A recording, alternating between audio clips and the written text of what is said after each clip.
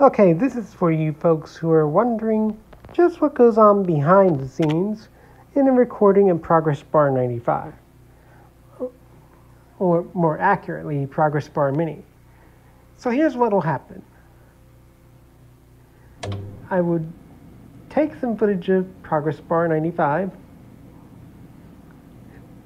Say, for instance, now I normally would never record while it was booting up, but for our, but for our cases, we'll do that. And then say I decided to start Progress Bar 2000 or something.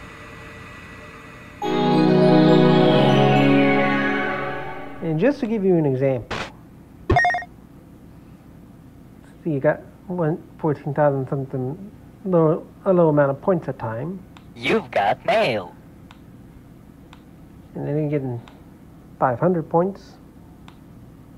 Anyway, let's say this will be my game footage here.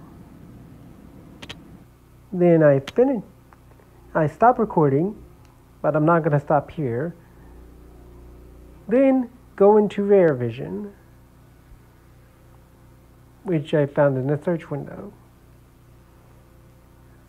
So what I'll do is hit the play button, look for the video, wherever it may be, and then import it.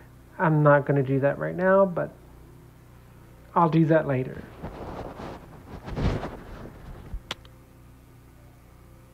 And yeah, that's how an episode of Progress Bar Mini is created.